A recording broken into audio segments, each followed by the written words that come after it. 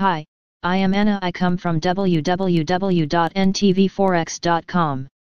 S&P 500 Daily Market Analysis How to Trade Reversal or Breakout with Sign of Strength Rally Video Analysis http ntvforex.com News ID 89E87A93 2020 1054 25 AM Check out the video for a complete walkthrough of the daily market analysis of S&P 500 Futures ES for September 3, 2020 trading session.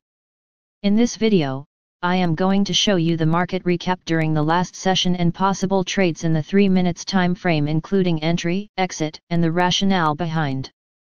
Those trades are based on either reversal trading or breakout trading under the context of a sign of strength rally. Going forward, I will cover the bias, the key levels to pay attention to, my trading plan for the session later. Check out my daily market analysis video in the last session if you haven't a T in order to better relate to the market recap and the trade review. Bias A neutral day trading bullish long term.